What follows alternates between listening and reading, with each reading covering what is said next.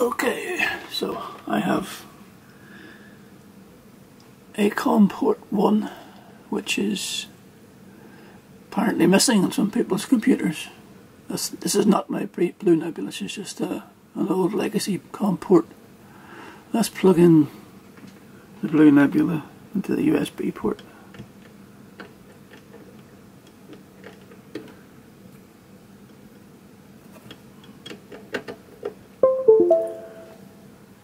You can hear the sound.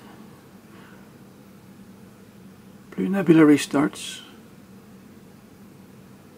Okay, now if we click on the rescan button, we now have another port, COM3, which is the Blue Nebula. We click on the COM3 port. Blue Nebula restarts and the librarian shows connected let's just send these patches, these are the default patches with all the presets patches up to number 63. You can have a look at that list. We go all the way up to chorus.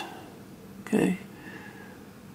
Now when I previously reset the Blue Nebula, that just initialized up to patch 49 that's the presets 0 to 49 are copied into the user patch area 0 to 49 so number 50 51 is there is blank.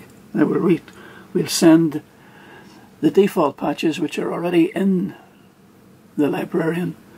We'll send that to the Blue Nebula just by clicking the send all patches button the Blue Nebula shows you that it's receiving each patch as it comes across through the USB cable.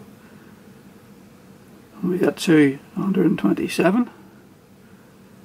There we have user patch 51 is now Binson Echorec 2, number 50 Binson Echorec 1, 49 was our preamp only one, we already had that.